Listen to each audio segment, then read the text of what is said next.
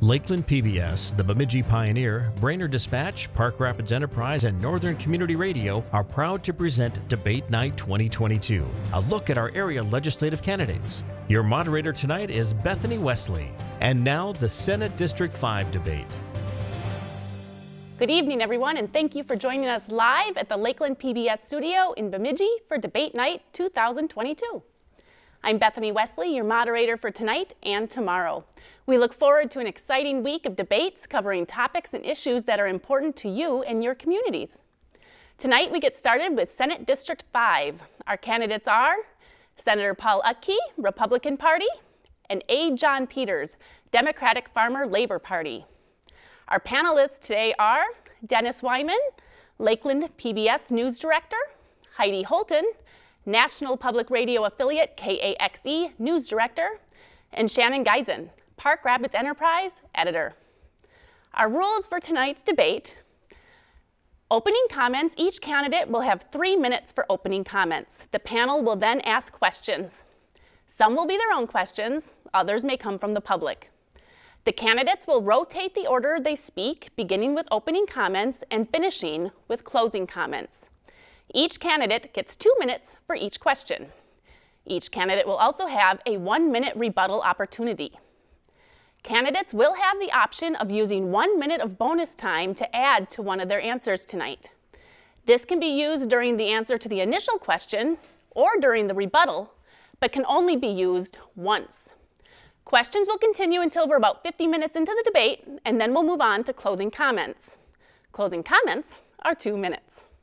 We're going to go ahead and get started with opening comments. Paul, you're first. Thank you. And uh, I will just uh, introduce myself a little bit to our viewers tonight. Um, I am Paul Utke. Uh, my wife and I have lived in Park Rapids for the past 29 years. Uh, we have two adult daughters, one living in Fargo, North Dakota, and the other in Atlanta. Um, a little of my history is uh, I'm originally from North Dakota, grew up there just southwest of Fargo. My work career is uh, consisted of uh, 15 years with Mack Truck Dealers. 16 years we've been, uh, we owned and operated a retail hardware and equipment rental store in Park Rapids. Um, since then, I've been involved in the insurance industry. I've been a licensed insurance agent for 12 years and uh, certified legal videographer for 15 years. Uh, My government career, um, as far as being a, in the elected offices, consists of seven years with the Park Rapids City Council and now six years uh, serving in the Minnesota Senate. Um, in the Minnesota Senate, currently I chair the uh, Health and Human Services Committee. I also serve on our Human Services Reform Committee, uh, our Energy and Utilities Committee, along with our Jobs and Economic Growth. Um, I'm proud of what Senate Republicans have uh, done for Minnesota the last number of years, and I'm, you know, have been happy and proud to be amongst uh, the leadership of our caucus. We have shown with our votes that we support public safety, uh, school choice, we support tax relief for all Minnesotans, and we support our people in need. Um, there's, of course, a lot more work to do, and that's uh, why I'm running for another term and asking for your vote. Um, when we finished the 2022 legislative session this past spring, we had a number of important items on our agenda, which we did pass off the uh, Senate floor, but of course, uh, as we all know, uh, not a lot of them made it across the finish line when they hit the House. So um, that again leaves us uh, a lot of work to do as we look forward to our next session. And uh, you know, priorities remain the same: uh, public safety, economy, our state surplus, um, we've got some education um, issues that are at the top of our list, and then, uh, of course, uh, we all know what our long-term uh, care providers, disability providers, PCAs, et cetera, have uh, experienced over the last uh, couple years with their COVID. So um, with that, I look forward to what the rest of the evening brings forward, and uh, thank you. Thanks, Paul. John? Opening statement? Yeah, I'm John Peters. I live in Browerville, Minnesota. I run a business in Long Prairie, Minnesota. Just to let you know, I've retired twice, and I can't handle retirement at all. And I don't think my wife can handle me being retired either. But I grew up in Shelby, Iowa, a town of 533 people. My folks ran a grocery store in town. When I was growing up, I mowed lawns, shelled corn, dug graves, weeded beans, baled hay, and delivered groceries for my parents. Now, one of the things that I believe in that I was taught growing up in the rural communities that I did is that you have to have an ethic of hard work and you have to have people that are willing to work together. My parents, when they ran the grocery store, at the beginning of the farming season, they would let the farmers pay credit all the way through harvest and did not charge a single extra cent. That's putting the farmers ahead, knowing when people are in need. On top of it, when the farmers paid, they gave each of the kids a full size candy bar, and back then a full size candy bar was full size. So th- that's what it is. So we believe in putting people first. The other thing is, my parents gave the Christmas tree to each of the churches. They gave the candy and the fruit to each of the churches for their Christmas programs. So that's putting people first. That's what I believe in. So after I went to school, I managed to go to college. Uh, basically, I was not a great college student because I was very immature at the time, and I majored in beer, girls, and football, not necessarily in that order. But as I grew older, I found out that you need to really buckle down and concentrate on what you are doing. During, I managed to graduate from college with a degree in mathematics, uh, with minors in philosophy, coaching, and physics. So I have that type of background. When I was in college, I was also an intern for the moon landing on there. I basically didn't do very much other than uh, bring the food to the programmers, but it still got to be with that. And then as we go along, I've been a educator in both high school and college. I have been a uh, scientist, I've been a mathematician, and I've worked through that. During this next time, I'm going to be working for the people, and also, as Paul said, there are things that didn't get across the going line. Our side will say that it was the Senate that stopped it as compared to what he said, but that's what we want to do is we want to get stuff across the goal line, and I'm looking forward to serving you in this district. Thank you. Thanks, John. We're going to move into our questions from our panelists. So our first question will come from Dennis Weimann. John, you'll have the first answer. Okay. All right, thanks, Bethany, and thank you both for joining us again this evening. It's a very good service to voters to hear from both candidates in a forum like this. My question is in regards to the budget surplus, another large budget surplus this year. What do you think that money should be spent on, and can you be as specific as possible?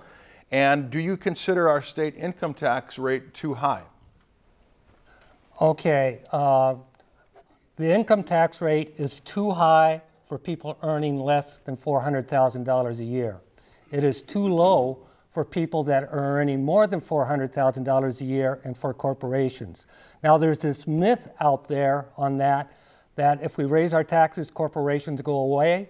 Uh, me being a scientist, I've looked at the numbers, the same number of companies come in as go out during any given year. Now, as far as our budget surplus, we need to put more money into education, first of all.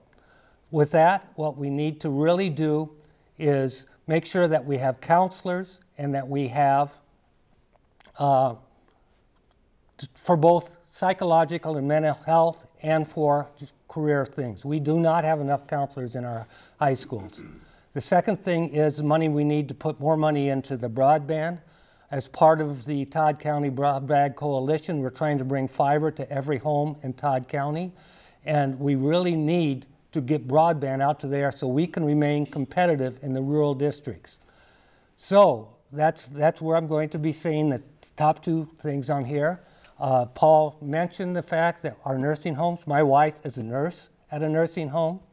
They lost about half of their people to COVID on there, and the nurses are burnt out. The nurses are burnt out, and we need to help them get to where they want to go. The last thing is public health, where our farmers uh, have one of the highest suicide rates of any industry, and we need to work to get enough mental counseling for those people. Thank you. Thanks, John. Paul?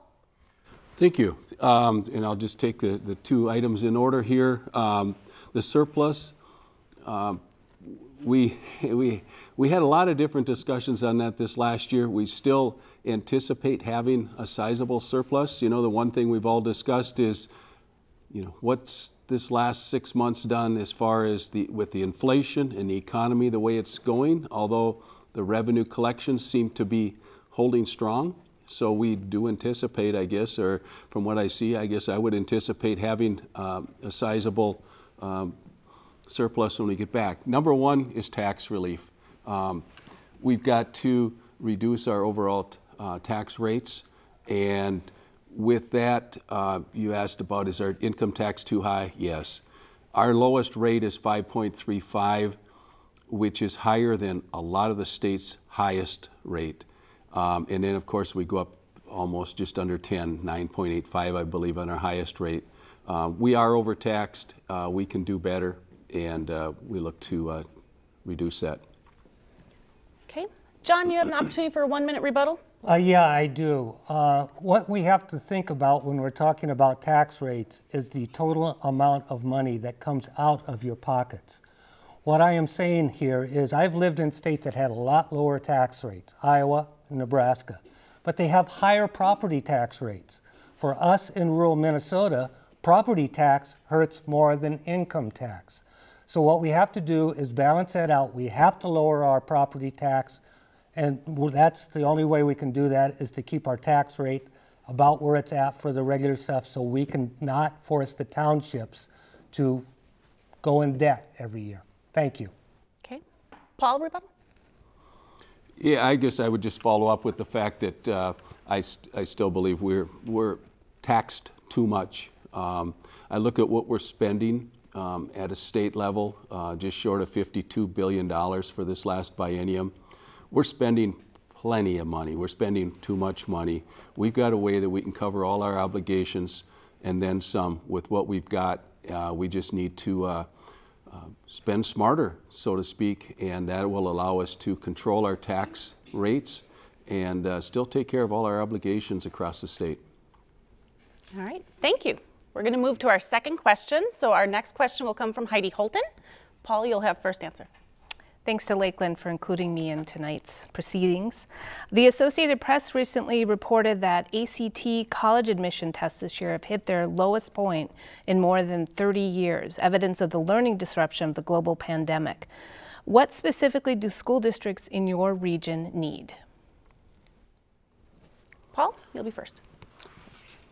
I would say it's an extension of what we spent a fair amount of time working on this past uh, session, which ended up being early, um, you know, from the end of January through May of 2020 when I refer to our current session. But um, we realize and know that uh, COVID um, really hurt our schools.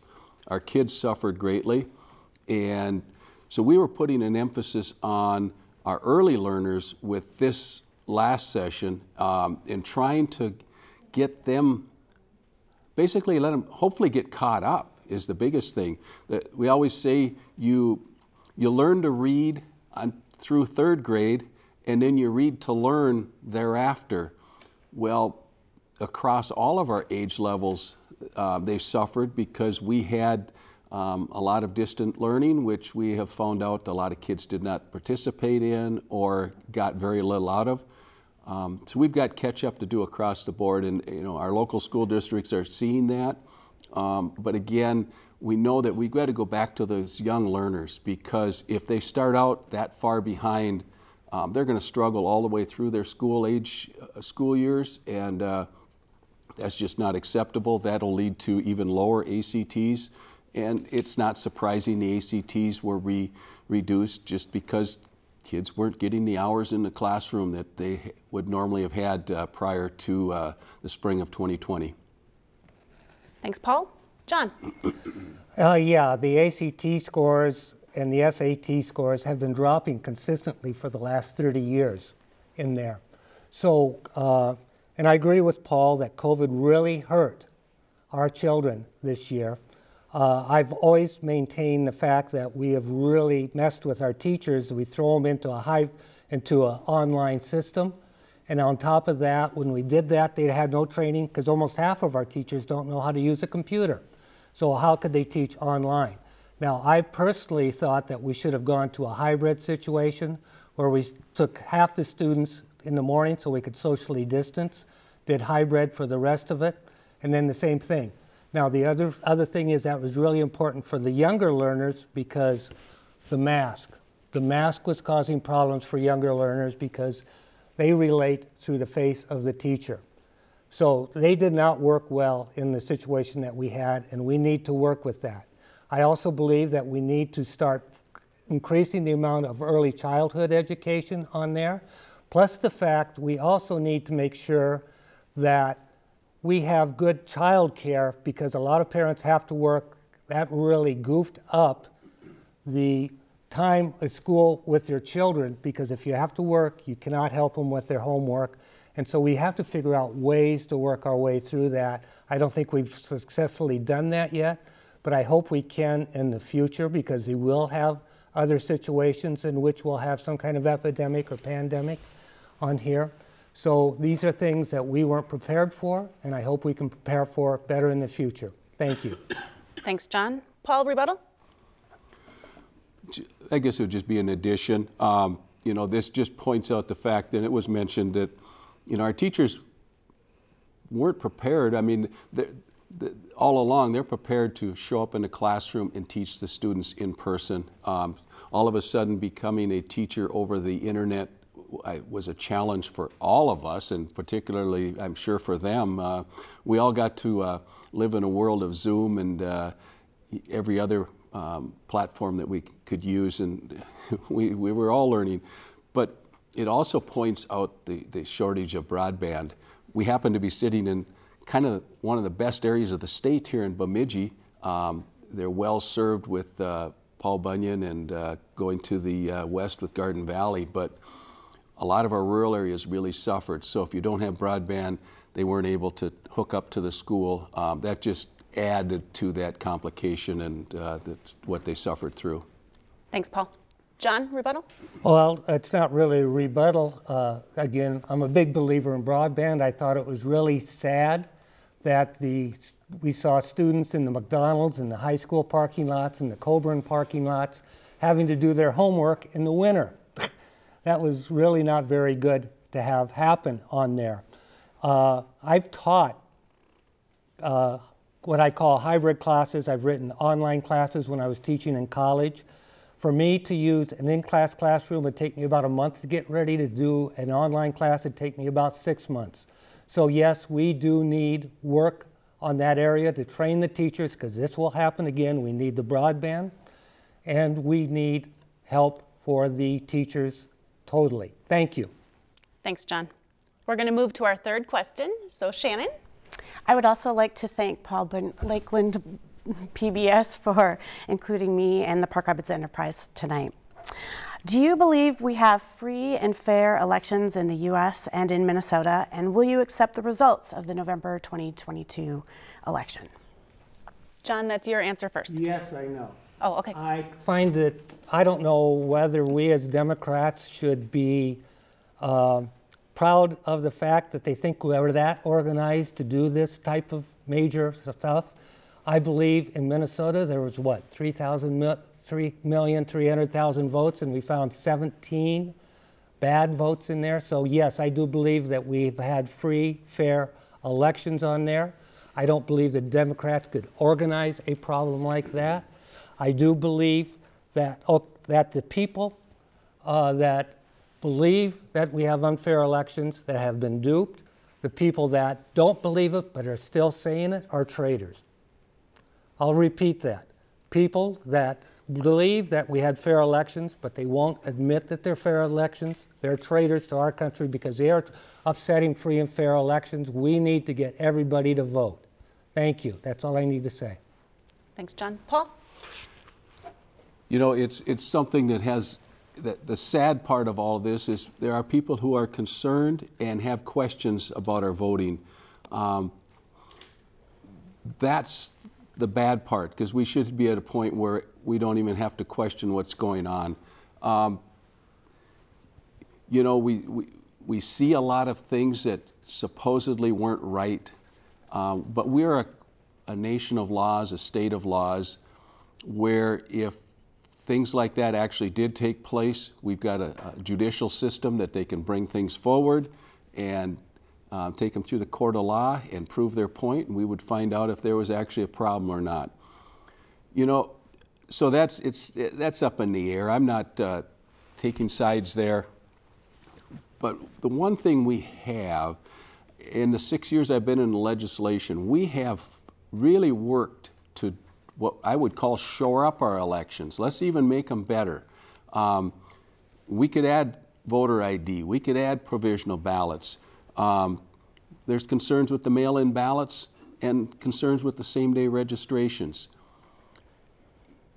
There is challenges and legitimate concerns, but yet when we bring those things up and have tried to have the conversations, and we've had them in bills that, to me, okay, let's just make it even better, make sure people are comfortable with um, the, the elections we have. We do find opposition, real strong opposition that fights us right to, tooth and nail to the end, and so far nothing has been added.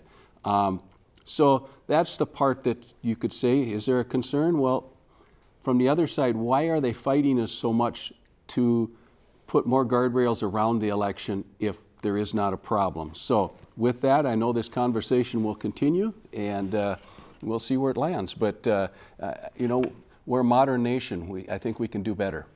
Thanks, Paul. John, rebuttal?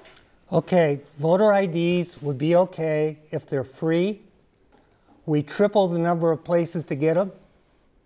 We allow the fact that they're not hard, that they're very hard to reproduce, and we train the election judges to do that. To me, that looks like it's about a two, $2 million job for the state of Minnesota to do that. So, I'm, that's, if you can do that with that, that they're free, that we can get them to the senior citizens, that we can get them to the college so we don't wrap up the uh, time on their side. We, need, we can do that. I loved absentee voting. I love early registration. During the COVID years, I did not want to go into the office, and now uh, the only way I'll ever vote is either at the uh, early or at uh, through the mail. So I don't see any problem because last time I did that with okay. the uh, system, John, I actually had to, uh, no, yep. just let me finish. I had to sign in that the person that was voting absentee was that so they could check both of us. I see no problem with it. Sorry for going long. it's okay. Paul, rebuttal? I'll just uh, tie a couple loose ends together. When I say, or when we talk about mail-in ballots, uh, we have an issue with that but that doesn't include the absentee, which it actually could get mailed to you. The absentee ballot is a good deal uh, because not everybody can show up on election day to vote. We fully support and want everybody to be able to vote. Um, we just want to make sure that there's no questions, and so um, I do like the absentee, so thank you. Thank you. We'll move to our fourth question, so that's from Dennis. Okay, and we're going to go with a viewer question from Hubbard County. Uh, Minnesota Aquatic Invasive Species Research Center has been instrumental in learning about aquatic invasive species prevention and management. This viewer writes, they have been leaders in looking ahead through research strategies on how to, we can protect our lakes for present and future generations. The viewer would like to know, do you support long-term funding for MAISRC and their research work on aquatic invasive species to protect one of Minnesota's greatest assets, our lakes? Paul? Um, Hi, thank you. And yes, I guess I support the funding. I also want to make sure, uh, and I've asked this question already in the years that I've had the chance down in St. Paul, is it's one thing to continue the funding for the prevention, but we know that at some point something always sneaks through. So at the same time, it's not only it's like in everything, you've got the prevention side, but then we've got to have the proactive side. What are we doing to be able to treat the waters and do what we need to do if they do get infected. And so I think we need to do it, has to be an all of the above approach, approach because, uh, you know, we'll do the best we can to save the problem, but we also need to be proactive in working that, you know, our lakes are, I mean, they're huge up here. That's why people come to northern Minnesota, or one of the big reasons. Uh, come up here and recreate on our beautiful lakes, uh, enjoy the woods, uh, everything else that goes with it, and you know, it's, it's something that the area people have taken care of and done a wonderful job over this time and centuries before us. Uh, we just want to make sure that we maintain that and uh, do everything we keep, can to keep them up going forward. And so people can continue to come north and enjoy um, the water and spend time in our communities. Thanks, Paul. John?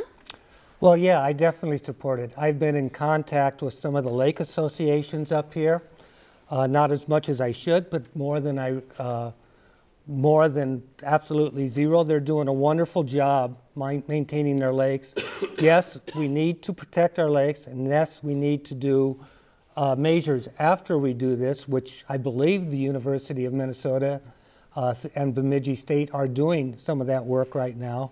What I've seen with the milfoil, uh, to prevent the mitigation problems, uh, are actually causing more problems. So we need some more scientific research when we get into this type of stuff to figure out what actually works on there.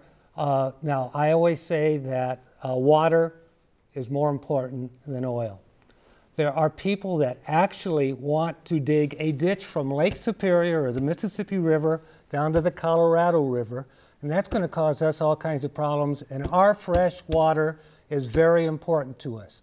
We need to protect our water. We need to make sure that the water, uh, when it we starts having a problem, that we reduce it to the minimum possible, and that's really what we need to do. Thank you. Thanks, John. Paul, rebuttal? Uh, no. Okay. All right, next question comes from Heidi. What is your position when it comes to electric vehicles? As a state senator, will you support this industry and its infrastructure? Why or why not? Okay, uh, I've seen a lot of stuff lately of bashing um, the batteries for electric things. And what I'd like to do first of all is kind of give a little allegory here. Remember what our phones were like 30 years ago? I know the young people here don't, but they all had tails. Do you remember what it, they had? They had tails. They're connected to the wall. So what, what do we have to do is we've looked at our technology. In 2002, how did you use your phone? How far have cell phones come from 2002 to today? How far have they come from 2010 to today? How far have they come since 2018 until today? Our problems with electric vehicles are basically the batteries and the solar collection. Now, I've been studying this. I'm a scientist. I, am sorry, I'm a nerd. But there are at least 10 different new batteries that are going to be coming out in the next five years. One of them will be a covering flex that's clear and possibly lasts for about 11 years, which is the life of the car. So you could actually be charging your car while you're driving during the day. There are other ones in which they get rid of the need for lithium, so we're using sodium.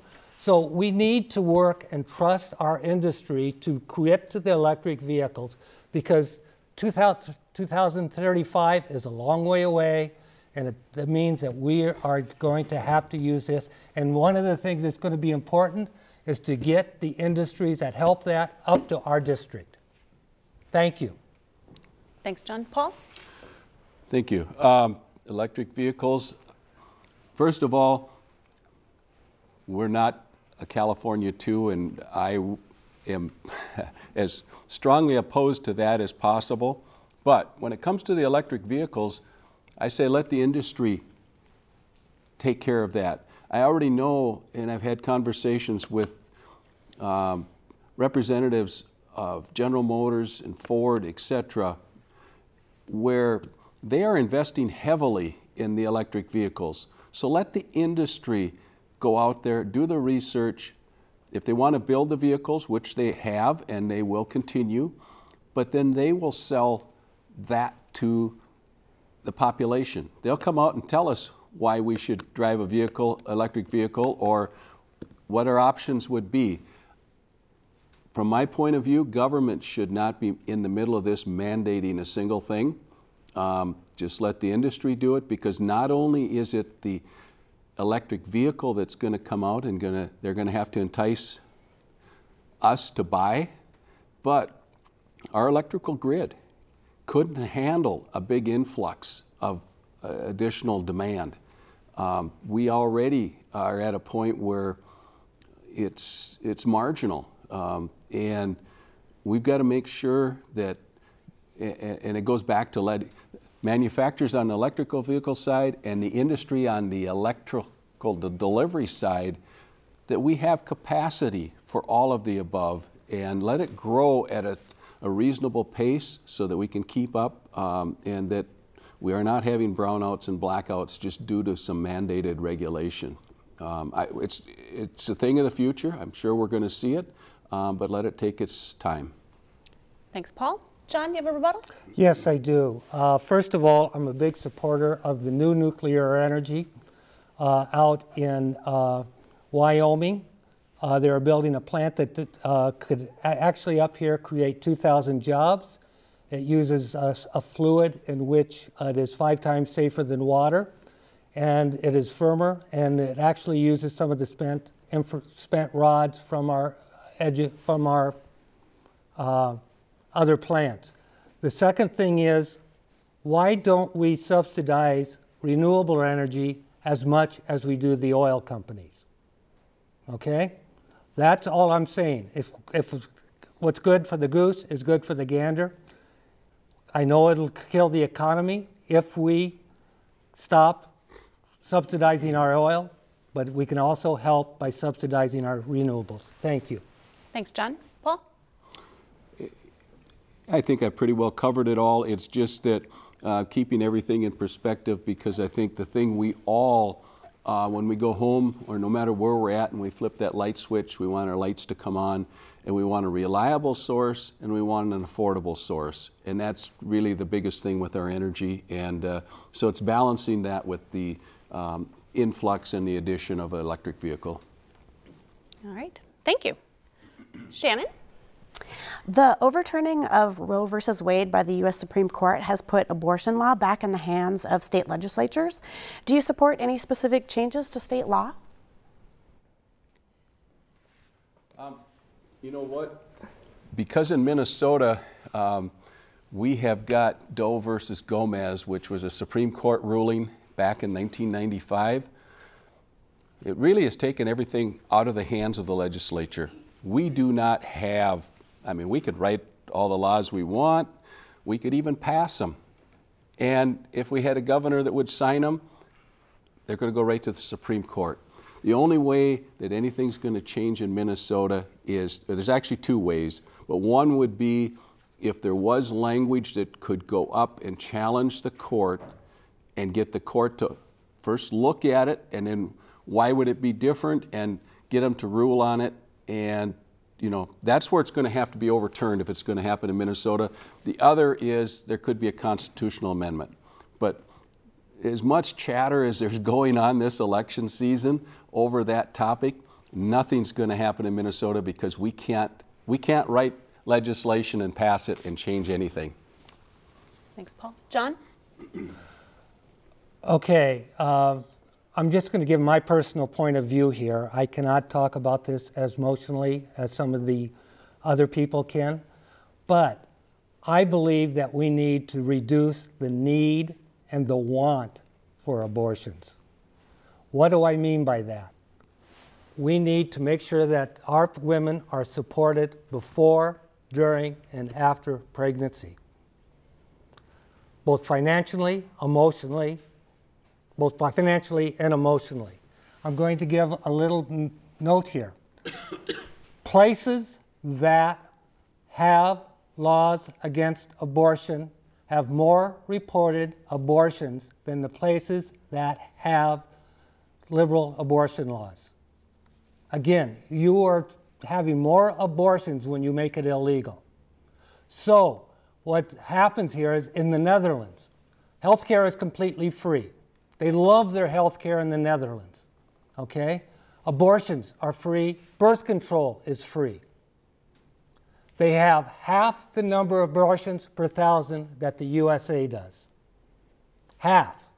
They also have a lower age of consent than the USA, USA does, but on average, the USA has kids starting sex at a younger age.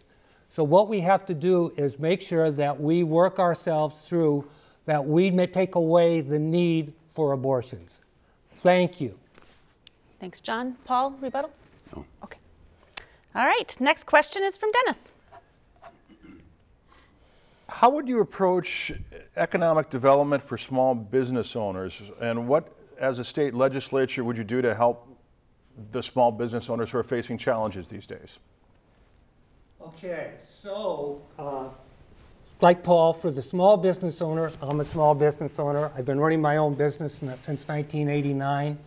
I would like to see less paperwork. I would like to see ways in which I could reduce my taxes. I would like to make sure that I have all the tools that I need, including broadband, so I can work where I want.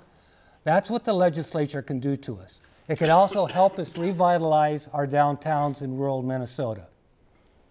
On there, that means getting things ready, but making sure that the buildings and the roads are good without raising property tax. That's what we have to do in rural Minnesota. Reduce the paperwork, and a small farmer is a, re, is a uh, small business person too. And we need to work our way through that type of information, reduce their taxes, remove their property taxes at total out of pocket, and make less paperwork. Thank you. Thanks, John. Paul? Yeah, and I would, my part on something like that is small business is not looking for a handout, but I think they're looking for government to let them just do their job. And part of that is our regulatory system. Um, you know, it's very burdensome in most areas and heavily burdensome in a lot of areas. Um, that along with our tax structure. Uh, government is there to supply a good infrastructure and, you know, assist where needed. But uh, we've got to get to the point where we allow small business to be creative. That's what's, you know, you look at how many businesses we all know that started in someone's garage and as a hobby, and they grow into a small business, and then they become a large business. But we need to be there at, at the state level to be their partner, to assist them. Uh, when they need help, how can we help? But first of all, we need to get out of their way. And, um, you know, we all want regulation of some sort because we want to maintain what we've got for an environment and the water and everything else that we've got around us. And nobody's here to abuse that.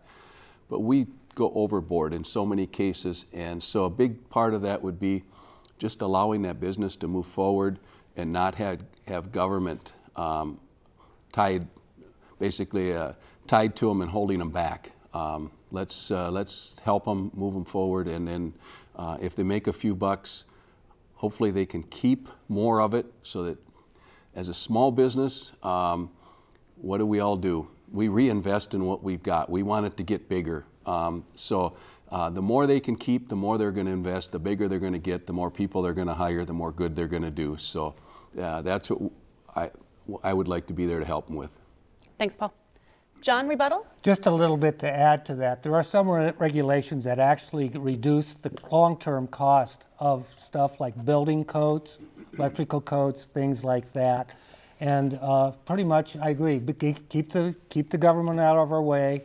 But like for the farmers, we need to make sure that the disaster relief gets there without a lot of the problems that we've had with the paperwork. Thank you. Thanks, John. Paul? No. Okay. Next question comes from Heidi. We'll stay with the topic of small business and employers. Many employers are trying to entice workers right now, but there are issues that they can't control. High cost or lack of daycare as well as lack of affordable housing. What can be done with these issues and what are you hearing from people that you've met on the campaign trail? It, it's for this any type of a business, small business owner all the way up to the big ones. Uh, small business owner, you're the one that's on the front lines with your customer to hiring the employees, taking care of them. Uh, you've got the, the whole gamut. Um, at the bigger levels, you've got the HR people, et cetera, but they all have the same issue, and that's being able to hire the right talent and then being able to keep them.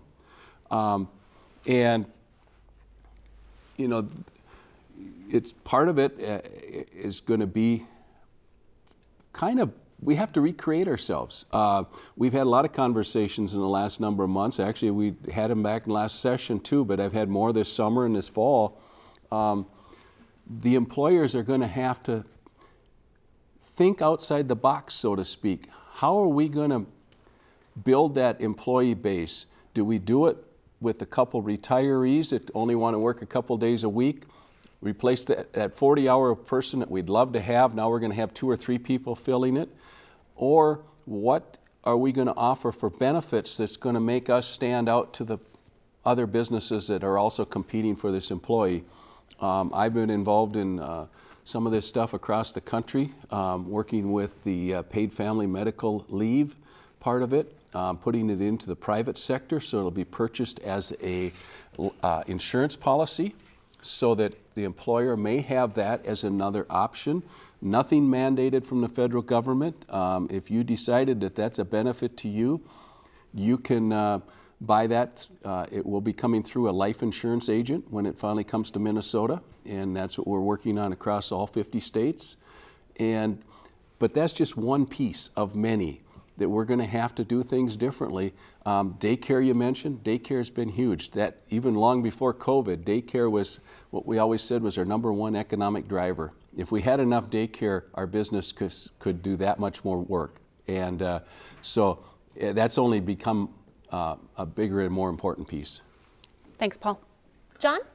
Okay, um, we've got a kind of a situation here that's a catch-22, and for those of you that are old enough, that's catch-22, know what catch-22 is, is uh, came from a book in the service. If you uh, wanted to get out of the service, you had to be insane. If you wanted to say you were insane, you couldn't get out of the service. That's a catch-22. What we have here is, one, we have the lowest employment rate in this history of the state of Minnesota. What is it, around 2% or 1.5%? So we don't have enough workers that really want, have, can work right now. Two, we can't get a lot of the young parents to work because they need the daycare and they can't afford it. But the thing that I'm seeing down in my area is housing. We do not have enough housing. We do not have enough affordable housing. Most of the young workers cannot afford a $2 million home. I can't afford a $2 million home. So what we need to do is get more inexpensive homes so our employers can bring the employees in so we can hire new people. So that's how we get, work our way through this is to get more homes and uh, so the employers can come here, hire the jobs, and get the people. Thank you. Thanks, John. Paul, rebuttal? No, I'm good. Okay, thank you. Next question's from Shannon. Uh, legislature gridlock has become the norm. Increasingly, the final deals on major bills are forged by the governor, House Speaker, and Senate Majority Leader with little or no input from rank and file legislature legislators. What specific measures will you take to reduce the increasing partisanship of the lawmaking process? That me, It's right? John first. Okay, th- yeah, I thought it was. Uh, well, first of all, we have to create professional relationships in our uh, groups in here. Yes, these big omnibus bills are causing a lot of problems on there. And uh, I do not necessarily know how to break this up into individual budget bills on there, so we could discuss each one individually. But what we need to do is to figure out a way, and the only way I can do it is to create relationships with my other members of the Senate and also of the House. Uh, a representative that was in our district uh, last time, for two years ago, said, John Peters is a person I can work with. So we got to create individual relationships. I'll have to work with the governor, and I have to know what's going on into every bill. I'm a pretty good student now as compared to when I was in college, and I can read, I can get through stuff. I know there's what, 10,000 pages in a bill or something like that, Paul? It's, you, you, you've seen them. You know, all I've seen is the piles on the desks. So that's what th- what we have to do is be able to know what's in our bills as they're doing the negotiation, and the fact that they come to people like Paul or if me, if I'm elected, the very last minute is not an acceptable way of doing things. Thanks, John. Paul? You know, I think uh, part of the term, the legislative gridlock, and some of, and I have people uh, throughout the district, around the state, ask questions about this. Part of it is the way it's portrayed coming out of St. Paul, um, and I'll say that some of the Twin City media that's reporting on this, and it, it, it must make it sound better that way. Yes, there is political divide, but and in the end, some of these, it was mentioned leadership making these deals with the governor. A lot of times that is who we see in the end. But I know even just this last year, we didn't have a lot of things we got across the finish line. We had things that died in process, but I was heavily involved in a number of those pieces. Um, even uh, meeting with leadership and the governor around the table. In the end, that deal does go through our leader to the governor, but um, there was a few of us that actually put the deal together. So it does include our membership, and in this case, our caucus. And we've got those of us in the caucus that have uh, kind of take a leadership role on these things. So there are a lot more people involved than just the final uh, couple that we see a lot of times on TV. Um, you know, and then there's also the times I've I was in some of those final meetings where it just wasn't going. So you know, I closed up my laptop because it wasn't a deal I was going to take for our people and for what we were looking to do. Um, but it, uh, it, as John mentioned, at that level, it's all about relationships too. And I've always said across this whole campaign, relationships matter. And, um, and that's the part of what I've enjoyed doing. It's, it's working with people, uh, and that's part of the legislative process, uh, whether it's uh, those of us in caucus or we get together with others, it's uh, being able to work and respect people. Thanks, Paul. John, rebuttal? No, I'd just like to say thanks for the work he's done, but I hope I can do better. All right. Next questions from Dennis. In Maine, the Carson v. Makin Supreme Court ruled that a state could not exclude private religious schools from receiving public funding only because of their religion. Now, that opens the door for public funding for private education. Are you in favor of school vouchers that allow parents to use education funding to apply to private school tuition? Why or why not? Um, I do support school vouchers. I'm also a big advocate of our uh, public school system. But we do know in our state we have some schools that are failing our students horribly. And they happen to be in um, well, they're not up in this region, they're down in the metro, and they are also the ones receiving the most money. And I'm all for doing whatever we can to make sure those young people get the education that they deserve, and we all hope they get. And in the end, I think it'll force some of those public schools to toe the line and do their job. Um, so at this point, I support the vouchers until I know differently, but uh, I would like to keep all options on the table because I believe our young people deserve it. We're going to need them to do a lot of work behind us um, as we're all uh, getting to a point where we're going to be relying on them to support us. And uh, um, so, yeah, I, I want to see them succeed. All right. Thanks, Paul. John? Uh, the Twin Cities schools problem is more with the community and the amount of money that they have on there. So they need more support than we do out here because we have a better family structure and uh, work our way through all that. Uh, I do not support vouchers at all uh, to anybody. Uh, the public school in our area is the center of our communities. If what happens if we start taking money away, putting them in vouchers, that means we're taking money away from counselors, from health professionals, that we need in our school. Eventually, that may mean that Long Prairie Browerville can't have a wrestling team.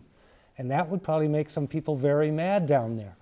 So, uh, and I know there's teams up here that like the same thing. So they will start taking things away. We'll make our classrooms bigger. We cannot take any money and we, away from the public schools, and we got to put more money into them than we currently are. Thanks, John. Paul, rebuttal? All right, we are going to move into our closing comments then. So each candidate will have two minutes for closing remarks. And John, you will go first. Well, thank you. Uh, as I was talked about before, I really believe in people and the people need to be served. I believe the government can serve that. I think we need to provide more money to our townships so they can do the roads so we can lower our property taxes. We need to lower, put more money into our schools from the state level so we can lower our property taxes. We need to equal things out. I believe in people. So I would really like to be your senator. I'd like, I've got a broad uh, area of expertise. Just to let you know, when I went to college, I majored, I had a scholarship in football, drama, and uh, academics. So that means that I can talk to different people all the way, and I believe that my well-rounded area of expertise could be an added value to the people, the people working in St. Paul. I'd really like to thank you, and Paul, thank you for being here tonight. I enjoy talking to you, and we plan on remaining friendly the rest of this time. Thanks, John. Paul. Okay, thank you. Um, you know, I've mentioned a, a, couple of these things in the uh, past number of, or 50 minutes, I guess we had, but um, you know, over the, the term that I've, or the time I've had to spend in uh, St. Paul, I'm proud of what uh, Senate Republicans have done. Um, we've worked well together. Um, it's not about what an individual can get done by ourselves. As an individual, that's all we are. It's what we do as a team. I believe that we have uh, been a good team down there, uh, working with the other members also of the Senate. Um, it's, it takes all of us to make this thing work. Uh, if we look at what bills go through at the end, I mean, even throughout the year and at the end of the year, very, very few in their final passage are ever party line. Um, there is always um, some going from both parties to make this thing work. Um, I'm proud to be part of that, and I feel that we've uh, done a good job over the last uh, number of years. I've enjoyed serving uh, the citizens of northern Minnesota the past six years, and I hope that uh, we can continue to work together. Uh, this district got changed up just a little bit. I'm uh, excited to uh, work more to the south. Uh, we've got a good group down, all the way down through the south end of Todd County. Been met a lot of nice people over the summer. And, uh, you know, with that, I realize there's a lot of serious work ahead, as we've discussed here earlier, and I look forward to rolling up my sleeves and uh, going back to work uh, next year um, if uh, everything works out. So, with that, I would just encourage everyone to get out and vote. If you haven't already vote, voted, please do. Uh, November 8th is the day. I hope that uh, I have earned your support, and uh, in the end, please vote uh, Paul Utke for Senate District 5. Thank you. Thank you. I want to thank our candidates for joining us tonight. I want to thank the panelists for being here tonight want to thank you for watching. If you missed any portion of tonight's debate, or if you'd like to watch it again, it will be available on the Lakeland PBS website within 24 hours. That website is lptv.org. Also, Shannon will be writing a recap of the Senate 5 debate. It will be posted first on the Park Rapids website, I'm sorry, Park Rapids Enterprise website, www.parkrapidsenterprise.com, and then it will appear later in the print edition. Also, you can find election coverage from KAXE on their website at kaxe.org. But stay with us. Coming up in just a few minutes, we're going to have the State Senate District 6 debate featuring Senator Justin Eichorn, Republican, and Steve Samuelson, DFL. Thanks for joining us. Stick with us. We'll be right back.